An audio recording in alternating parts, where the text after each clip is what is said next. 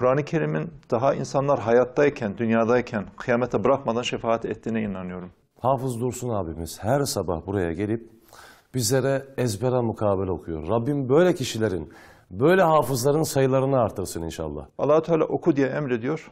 Bize okudun diye sormayacak mı acaba? Tek kelimeyle yaparsın dedi. Dedim ki ben 11 ayda olamazsam 11 yılda olurum. Biz aslında beraber başladık Kur'an-ı Kerim okumaya. Ama biz yolda kaldık. O e, başardı. Kur'an Mekke'de nazil oldu. Yaşayan Kur'an Hazreti Peygamber, çölleşen ruhlara onunla hayat verdi.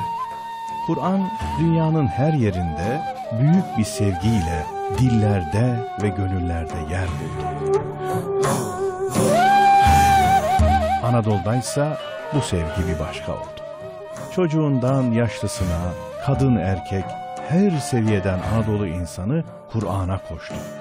Anadolu insanı ümmetin en hayırlısı olabilmek için dün de bugün de Kur'an'ı öğretme ve öğrenmek için yarıştı. Kur'an sevgisinin izlerini sürmek için Anadolu yollarındayız.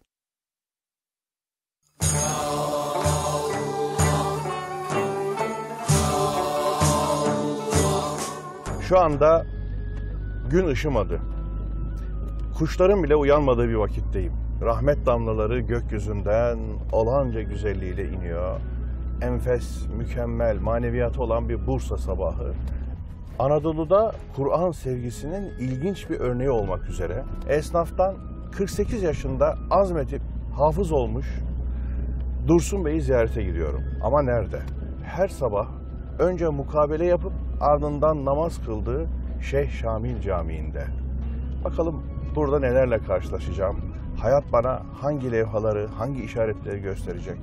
Ne gibi bir hikayeyle karşılaşacağım? Doğrusu merak ediyorum. وَلَوْ يَشَاءُ اللّٰهُ لَانْتَصَرَ مِنْهُمْ وَلَكِنْ لِيَبْلُوَ بَعْضُكُمْ بِبَعْضٍ وَالَّذ۪ينَ قُتِلُوا ف۪ي سَب۪يلِ اللّٰهِ فَلَنْ يُضِلَّ أَعْمَالَهُمْ سَيَهْدِهِمْ وَيَصْلِحُ بَالَهُمْ وَيُدْخِلُهُمُ الْجَنَّةَ عَرَّفَهَا لَهُمْ. يَا أَيُّهَا الَّذ۪ينَ آمَنُوا اِنْ تَنْصُرُوا اللّٰهَ يَنْصُرْكُمْ وَيُثَبِّتْ أَقْدَامَكُمْ. وَالَّذ۪ينَ كَفَرُوا فَتَعْسًا لَهُمْ وَأَضَلَّ أَعْمَالَهُمْ. ذَلِكَ بِأَنَّهُمْ كَرِهُوا وَأَنْزَلَ اللّٰهُ فَأَحْبَطَ أَعْمَالَهُمْ. Allah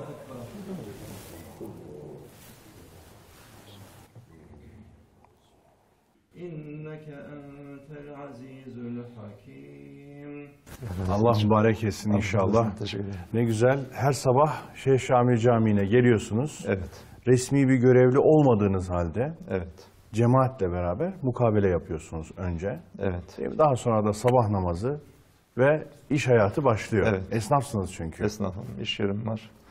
Bir saat sonra dükkan açacağız inşallah. Allah nasip ederse. İnşallah. İnşallah. Güzel bir başlangıç yapıyorsunuz yani Evet. güne. Öyle gördüm. Yani Kur'an-ı Kerim okumayı çok seviyorum. Gerçekten Kur'an-ı Kerim okumak müthiş bir bana yani modern kelimeyle keyif veriyor diyeyim. Evet.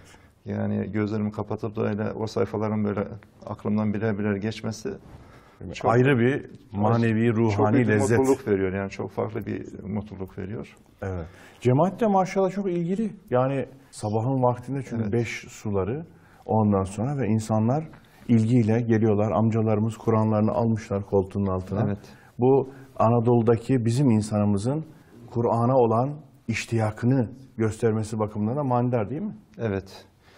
Yani şu anda sabah namazında yaklaşık 10 kişi Kur'an-ı Kerim tutuyorlar. Allah onlardan razı olsun. Yani benden önce gelip bekliyorlar bir de. Ben daha sonra geliyorum. Yani onların hakkı bana geçiyor zannediyorum. Peki ne kadardır devam ediyorsunuz bu mukabeleyi ne zaman başlattınız? 51 gündür okuyoruz. Oo, 51 gün maşallah. oldu. 10 gün sonra inşallah hatim yapacağız. Ee, belki hatimde ufak bir program yaparız burada. Cenab-ı Güne Kur'an'la başlıyorsunuz, Evet. o hafızanızda devam Evet. ediyor. Öncesinde hazırlık var. Evet. Gün Kur'anlaşıyor Evet, neredeyse. evet. Elhamdülillah. Allah muvaffak etsin, Allah kabul eylesin. Evet.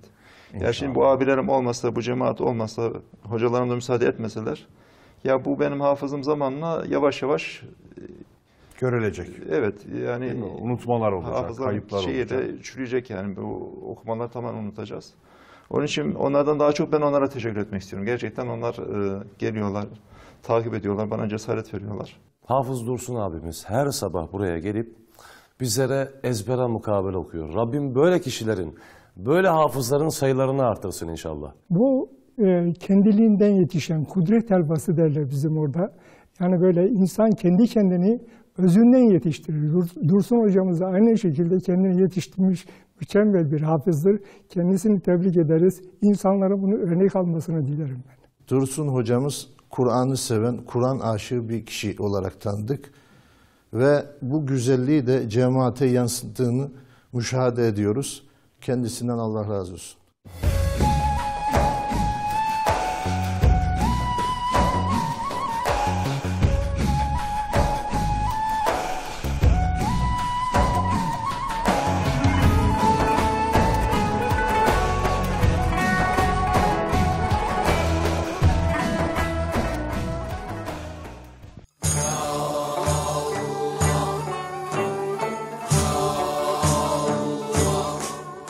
48 yaşında hafız olan Dursun İnal.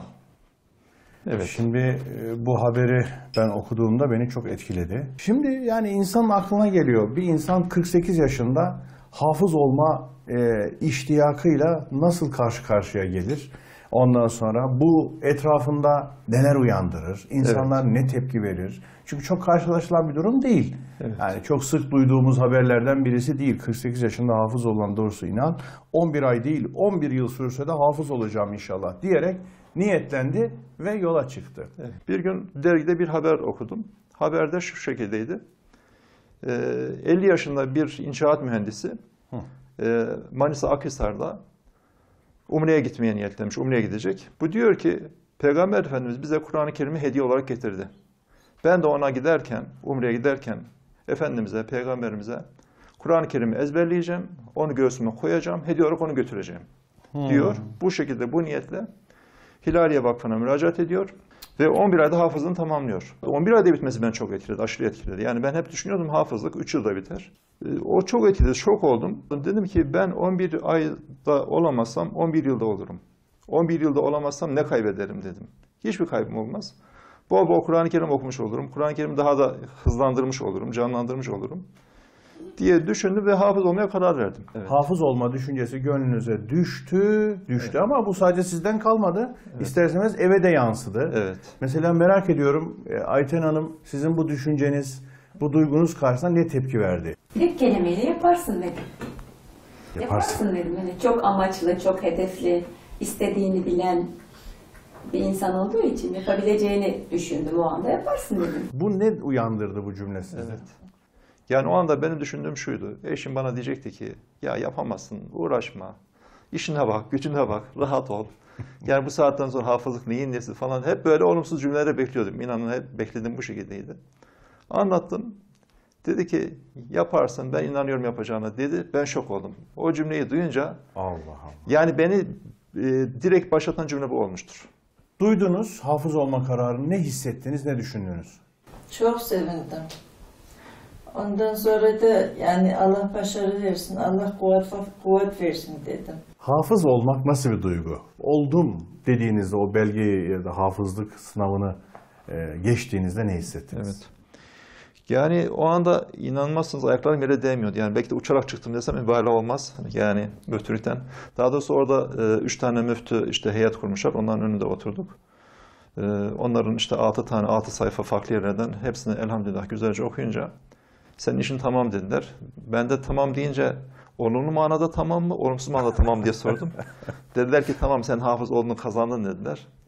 Yani o anda ayaklarım yere değmedi. Uçarak çıktım ve gerçekten hala şu anda bile e, ben hafızlığım, Kur'an-ı Kerim her aklıma geldiğince çok mutlu oluyorum, çok seviniyorum, çok farklı hissediyorum, farklı düşünüyorum. Dursun Bey bu sizin hafızlık çalışmanızdan iş yerinde bir esnafsınız çünkü. Kur'an'la sürekli meşguliyetinizden etkilenen esnaf arkadaşlarınız oldu mu? Ben Kur'an-ı Kerim böyle düzenli olarak okumaya başlayınca, yani sürekli önümde Kur'an-ı Kerim görülüyor, sürekli e, Kur'an-ı Kerim'le meşgul oluyorum. E, bazı arkadaşlar Kur'an-ı Kerim öğrenmek istediler. Kur'an-ı Kerim öğrenenler oldu, öğrenemeyenler, yarıda bırakanlar oldu. Fakat bazı arkadaşlar Kur'an-ı Kerim biliyorlar, okumayı biliyorlar fakat hiç okumuyorlar. Bu şekilde tanıdığım birkaç tane arkadaş şu anda görüyorum. Sürekli önlerinde Kur'an-ı Kerim var. Yani en azından ha- günde bir saat, yarım saat, yani günde bir cüz olsun, yarım cüz olsun. Bu okuma alışkanlığına başladılar. Bir de ezbere şey yapanlar var, e, heveslenenler var ezber yapmak için. Özellikle işte gündelik okunan Yasin-i Şerif, Tebareke, diğerleri, kısa sureler. Bunları ezberleyip gelip bana dinletenler var. İşte nasıl oldu mu, işte bir beni dinle, e, yapabiliyor muyum şeklinde. E, bu şekilde bir faaliyet başladı mahallemize elhamdülillah. Adım Abdullah Çiçek. Ee, 16 yıldır burada e, kuyumculuk yapıyorum. Dursun Bey'in komşusuyum. Ee, Dursun Bey e, Kur'an'a başladığı zaman, e, hafızlık yapacağım dediği zaman, işin doğrusu bize biraz şey geldi. Ağırdır çünkü.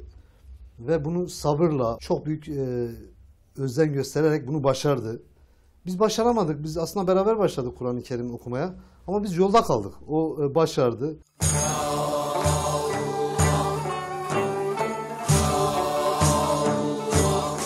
Bir hadis-i şerifte Kur'an-ı Kerim okuyan kişilere şefaat edecek diyor kıyamet günü. Ben e, Kur'an-ı Kerim'in daha insanlar hayattayken, dünyadayken, kıyamete bırakmadan şefaat ettiğine inanıyorum. Ve bunu bizzat yaşıyorum. Kur'an-ı Kerim okuyan kişileri, sürekli kendisiyle meşgul olan kişileri koruyor, muhafaza ediyor. Yani yanlışları yaptırmıyor, doğrulara sevk ediyor. Bunu şunu şunu söylüyorum. Kur'an-ı Kerim'i ezberlemeye başlarken hemen hemen okuduğum her sayfayı üç defa, dört defa, belki beş defa anlamını, manasını okurdum. Yani bu sayfa neden bahsediyor, ne istiyor onu okurdum sonra ezberlemeye başladım. Ve dolayısıyla şu anda Kur'an-ı Kerim'in diyebilirim hemen hemen bütün sayfalarının yani Türkçe olarak bizden ne istediğini, anlam olarak, mana olarak ne istediğini biliyorum. Ve beni yönlendiriyor. Yani bu gerçekten yönlendiriyor. E, Kafama bir şey koymuşum, bir şey yapacağım. E, Yani acaba bu yanlış mıdır, doğru mudur? Böyle kafamda gitgeller yaşarken Kur'an-ı Kerim'i açıyorum. İlk okuduğum ayet-i kerime bana diyor ki yapma. Ve me uberliu nefsi. Nefis kötülüğü emreder. Yani sen nefsine uyuyorsun şu anda yanlış yapıyorsun. Yaptığın yanlışı yapma. Hemen ikaz geliyor orada. kaz geliyor. allah Teala diyor ki kim diyor benim zikrimden yüz çevirirse ona dar bir geçim vardır. Cevap orada. Bu hem ekonomik anlamda hem Aynen. manevi anlamda hem Her ailevi konuda. anlamda her anlamda dar geçim. Her konuda ve bunu aynel yakin yani böyle görerek iman ediyorum. Yani Kur'an-ı Kerim'le arkadaş olmak, onu sevmek, e, o Kur'an-ı Kerim'in size sahip olması anlamına taşıyor. Ben bunu bizzat yaşayarak görüyorum. Etrafımdaki insanlarda da bunu yapmadıkları için sıkıntısını görüyorum. Hadis-i şerifte Efendimiz Aleyhisselatü Vesselam diyor, Kur'an-ı Kerim okunan evde bereket olur, huzur olur, mutluluk olur. Okumayan evde de bundan tam tersi olur. Ve yine e, aklıma gelen bir hadis-i şerifte diyor ki, Sizden biriniz diyor, ellerini kaldırıp da Ya Rabbi şunlar şunları ver, Ya Rabbi şunlar şunlardan beni koru demek yerine açsa, Kur'an-ı Kerim okusa Allah ona daha hayırlısını verir diyor hadis-i şerifte. Yani sonuçlarını çok fazla düşünmeden işte ben şimdi Kur'an-ı Kerim okuyacağım, zengin olacağım, Efendimizin çocuklarım şöyle olacak, böyle olacak demeden sadece sadece Allah rızası için Kur'an-ı Kerim okunduğu zaman gerçekten allah Teala her şeyi böyle güzelce yoluna koyuyor ve siz hiç uğraşmıyorsunuz. Yani bizim derdimiz Allah derdi olursa, Kur'an derdi, onun kelamını yaşamak ve yaşatmak derdi olursa Evet. Allah bizim dertlerimize kefil olduğunun müjdesini veriyor. Evet. Bu büyük bir teselli insan için.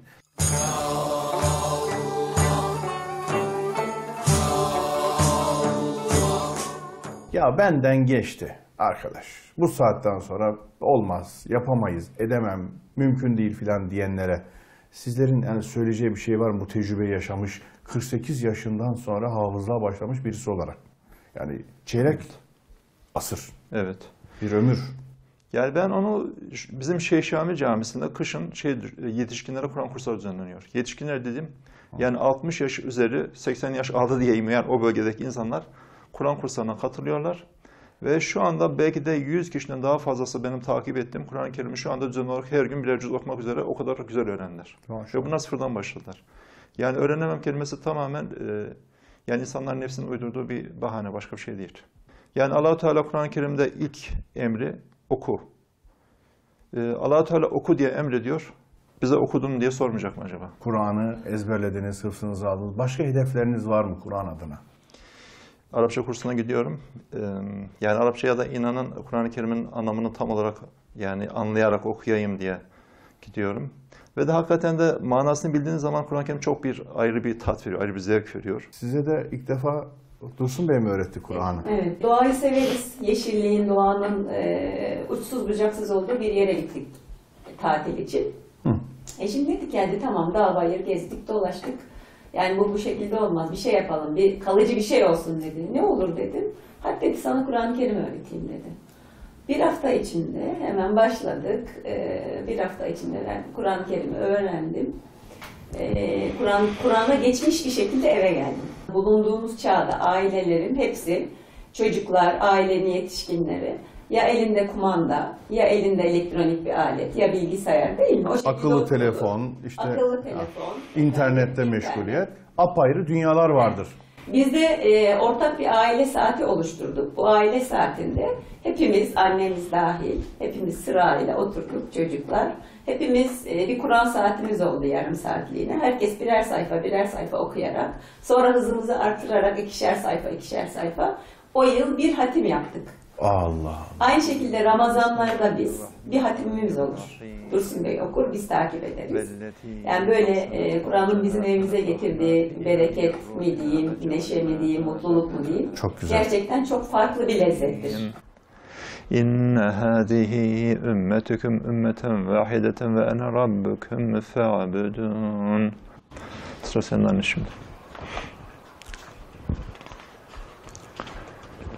مرة أخرى أمس بسم الله الرحمن الرحيم لا يسمعون حسيسهم فيما اشتهت أنفسهم خالدون لا يحسن لا يخلقهم لا يخلقهم لا يحسن لا يخلقهم الفزع فزع الأكبر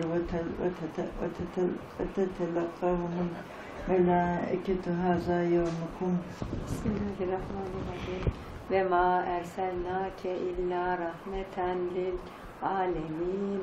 Ve innema yu- yuha yuha ileyye ennema iley İlah, ilahüküm. ilahün vahi vahidun. Sadakallahu azim.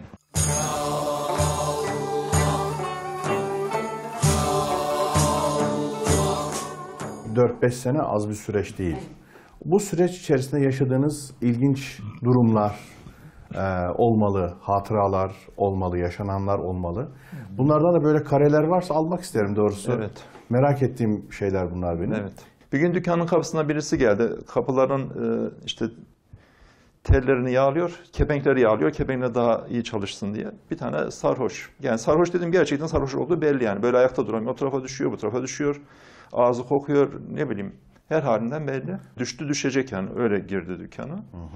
Ben de öylece hiç rahatımı bozmadan Kur'an-ı Kerim'i önümden kaldırmadan okumaya devam ederek tam başıma geldi Kur'an-ı Kerim'i görmesiyle beraber elektrik çarpmış gibi böyle bir irkildi. Askerlerin hani böyle bir üstlerini gör- gördükleri zaman esas duruşa geçti. Aynı önce tak diye esas duruşa geçti. Kur'an-ı Kerim karşısında tam böyle esas duruşa geçti. Yani o biraz önce sallanan adam böyle dimdik durdu yani. Çok Dedi ki ya dedi sen Kur'an okuyorsun dedi ya. Sen büyük adamsın sen Kur'an okuyorsun. Ben dedi yani senden bir şey istemem dedi. Ben burada durmam dedi. yani o şekilde Kur'an okuyorsun, büyük adamsın. büyük adamsın dedi. Ben dedi burada durmam dedi ya. Gönülde çünkü Evet. insan, herkes özünde insandır. Hazreti insan özünü taşıyor herkes. Allah'ın emaneti var bize, ruhu. Ruhumdan üfledim diyor. Dolayısıyla e, sarhoşun bile Kur'an'ı gördüğünde verdiği tepki çok çok ibretamiz yani. Benim dükkanıma gelen, gelip de Kur'an-ı Kerim öğrenmek isteyenler oldu. Birkaç şey öğrendi. Bunlardan bir tanesi bir lise öğrencisiydi.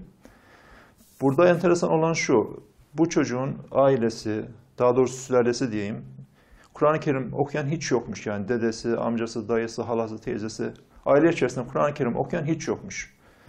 Bunun e, amcası benim dükkanda kapı komşum geldi rica etti dedi ki bu çocuğa Kur'an-ı Kerim öğretir misin? Öğretirim inşallah dedim. İki ay içerisinde Elif Bey'den başladık ve hatim yaptık. İki ay içerisinde tamamen bitti. Allah. Yani iki ay içerisinde bitti. Ona da şaşırdılar, ben de şaşırdım. Yani gerçekten Kur'an-ı Kerim bu mucizeli bir tarafıdır. Kur'an-ı Kerim'i hatim yapınca bunlar aşırı sevindiler. Çünkü ailelerinden ilk defa birisi Kur'an-ı Kerim okumuş, öğrenmiş. Evlerinde cemiyet yaptılar. Evlerindeki cemiyete de bizi de davet ettiler. Eşimle beraber gittik. Yani evlerine girilecek gibi değil. Aşırı kalabalık. e, pide yaptırmışlar, ayran yaptırmışlar, helva yaptırmışlar. Tam böyle bir şey.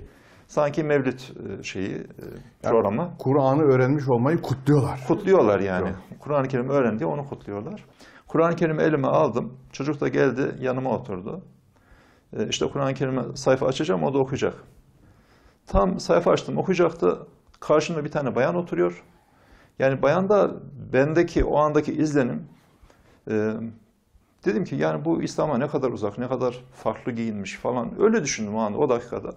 Yani bu insan dedim İslam'la bir alakası var mıdır falan filan diye o şekilde düşünüyorum. İnsan bazen ön yargıyla bakabiliyor. Evet yani o anda görüntü beni aldattı desem yalan olmaz. Çünkü çocuk yanıma oturunca dedi ki sen de orada oturma dedi. Hemen dedi in yere otur dedi.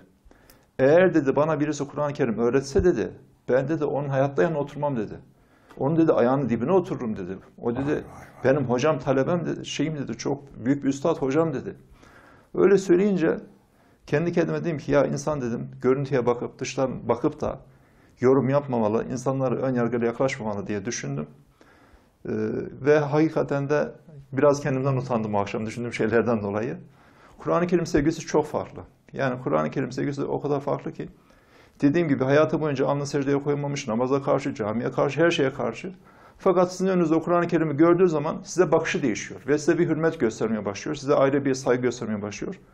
Bu da bu insanların kalplerinde mutlaka ve mutlaka ayrı bir Kur'an sevgisi olduğunu gösteriyor.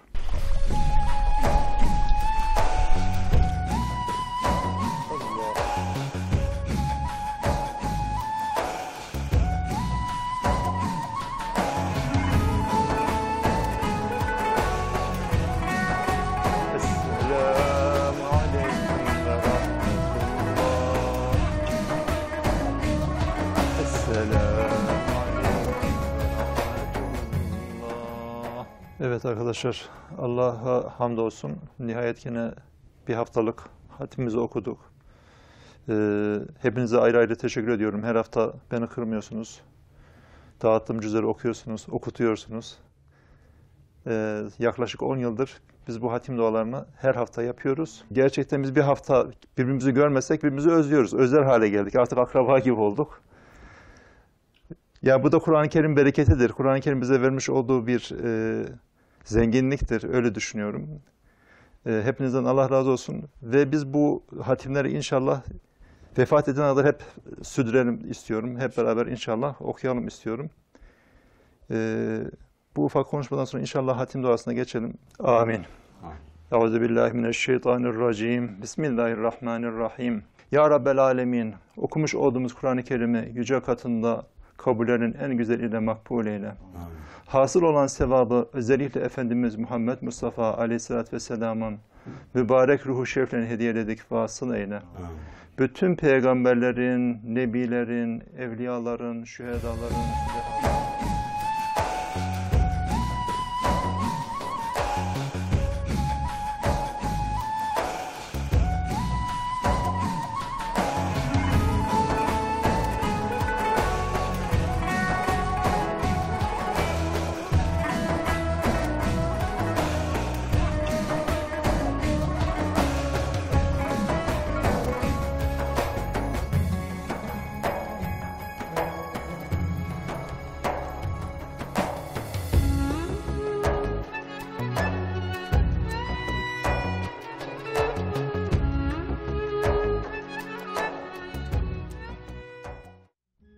Sabahın çok erken vaktinde rahmet damlaları bizi karşılamıştı.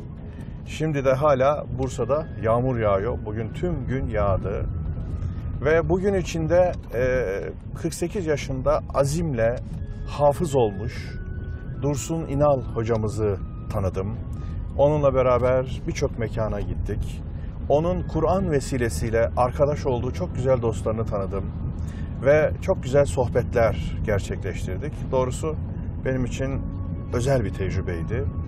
Efendim Anadolu'da Kur'an sevgisinin ne demek olduğunu bir kere daha hissettim. Ta derinden hissettim. Ve bu sevginin başka yerlerde kendisini nasıl gösterdiğini anlamak üzere Anadolu yollarındayım.